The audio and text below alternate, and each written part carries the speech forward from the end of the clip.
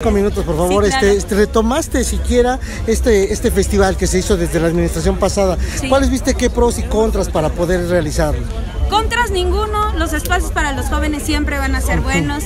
Por supuesto que cada administración le pone su visión, ¿no? Su, su imagen, su sentir.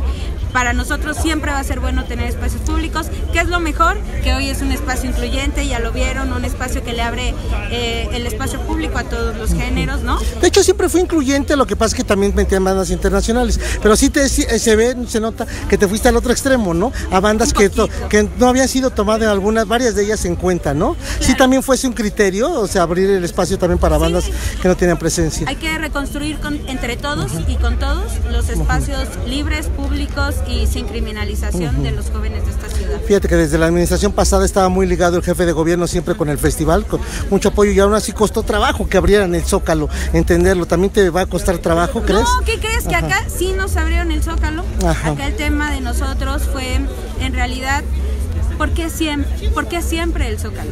¿Sabes?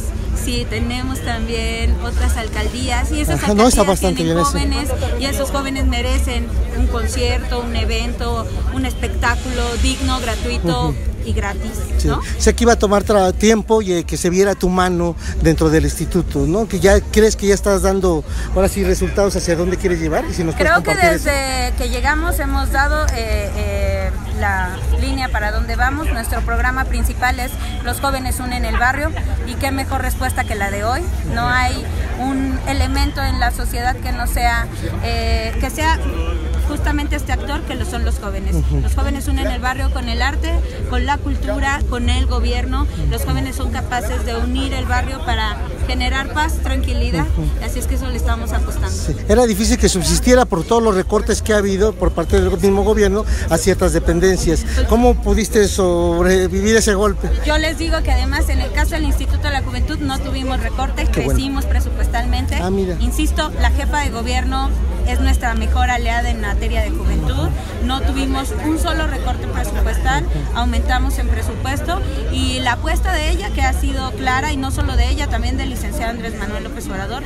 La doctora Claudia está construyendo los pilares que ustedes conocen que son espacios de arte, de cultura, de educación, ¿no? Pero también el licenciado Andrés Manuel tiene por primera vez a nivel nacional tres programas de jóvenes, eh, jóvenes escribiendo el futuro, jóvenes construyendo el futuro y becas Benito Juárez. Así es que lo que nos toca a nosotros ahora es decirles, además tienen derecho a la recreación y para eso estamos. Qué bueno, felicidades. Ya por unas dos preguntas nada más. Una, yo creo que tú no habías hecho antes eventos de esta naturaleza, así de esta magnitud. Este Tan es tu, grandototes, este, ¿no? este es, digamos, tu primero. Felicidades. Gracias. Pero ¿hacia dónde aspiras llegar en, en el cuarto, quinto año ya de administración? ¿Cuál, cuál sería tu, tu objetivo? Que ya hayamos ido a las 16 alcaldías. Ah, mira. Que todos hayan tenido la oportunidad de tener un escen- escenario de la Semana de las Juventudes. Para eso hace falta también que los alcaldes todos nos digan que sí, ¿no? Así es que desde aquí, alcaldes, échenle ganitas a decirnos el próximo año que sí. Ese será uno de nuestros Qué bueno hacerlo itinerante, está Como increíble. debe ser, todos los jóvenes en esta ciudad tienen el mismo derecho. Por Y el supuesto. derecho a recreación, insisto, de calidad, gratuita, pero sobre todo sin criminalización. Sí, Y, la sin discriminación. Y perdón, y la última pregunta, si nos puedes platicar brevemente ahora qué hace el Instituto de la Juventud, porque antes sí tenía talleres, buscaba el acercamiento con los jóvenes para eh, apoyarlos, incluso económicamente algunos en sus estudios, dar becas y apoyo a mujeres embarazadas también. Eh, Ahora qué es lo que más se hace. Este tema de mujeres embarazadas es un... nu- Nunca el instituto ha tenido un programa para mujeres embarazadas. Son brigadas que atienden ciertos sectores. Nosotros estamos trabajando con nuestras brigadas, siguen haciendo talleres. La diferencia es que ahora los talleres no se hacen en el instituto, se hacen en el barrio, con los chavos en el barrio.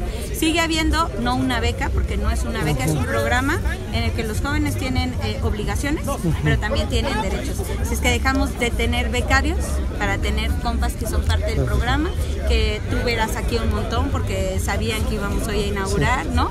Eh, chavos que verás en, el- en los conciertos, pero también en las actividades, porque les comentaba está el Tianguis eh, de la Ciudad de México que genera una brigada del Instituto de la Juventud y seguimos. La diferencia es que ahora no es una convocatoria por internet donde tú te puedas registrar un programa. Ahora vamos al barrio, buscamos a la banda en el barrio y con ellos trabajamos quién quiere ser parte del programa, quién quiere tener esa obligación con su comunidad y quién quiere tener el beneficio del inculto. Perfecto, y esta pregunta va a ser doble. Esta, una parte te la voy a hacer en cinco años cuando salgas. Ahorita te hago la otra, la, que es parte. Si tuvieras aquí a tu asesora, ¿qué le dirías a Mafer Olver? Pues que vamos por los espacios públicos para los jóvenes, ¿no?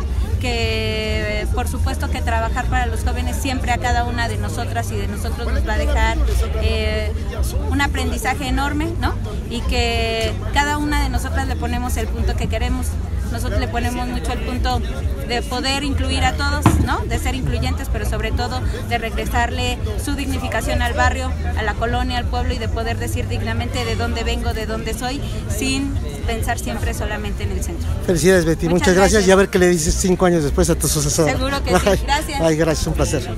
Bueno, pues seguimos aquí, este es Betty Aguirre, como ven, tiene una forma de expresión muy cercana a lo que es el barrio, lo que es la calle, lo que son los jóvenes, tiene también la inquietud, me recuerda mucho también cuando Maffer Olvera empezó esto de cero prácticamente, a recuperar ciertos espacios, la verdad es que sí era muy interesante los carteles que se mostraban antes, por supuesto también lo son ahora, son totalmente diferentes diferentes. Cabe señalar eso, son administraciones también diferentes. Creo que eso vale la pena que se siga pensando en la gente, tomando en cuenta las opiniones de, las personas. Y, bueno, seguramente el Festival de las Juventudes empezará, eh, no sé si con el pie derecho, esperemos que así sea. Ya nada más les comparto los carteles que se, que se, que se dieron a conocer hoy en la misma conferencia. Esto se, obviamente, como están viendo, esto se va a hacer el 16 de noviembre en el Monumento a la Revolución de 1 a, 2 de la, a 10 de la noche. Este será el 15 de noviembre, de 1 a 10 de la noche. Este es prácticamente el, cartel general que es, este los compartí en redes, los voy a compartir en todas mis redes para que lo tengan también presente, pero seguramente ya lo han visto en, en otros medios y este es lo, las actividades que se van a representar en Tlalpan el 13 de noviembre. Este va a ser en el Deportivo Banco, allá en Tlalpan, que está muy padre este deportivo y este es allá en Xochimilco, en su unidad deportiva. Como ven, está salpicado de, muchos este, eventos y este será el domingo 17 de noviembre a partir de la una de la tarde. O sea que del Escatex al siguiente día nos vamos a, ver a los de abajo, a Mascatesta, el Gran Silencio, eh, Nana Pancha, Quique Neida y Dios sabe a la reina guitarras y danza de joven. Pero bueno, pues aquí está y aquí está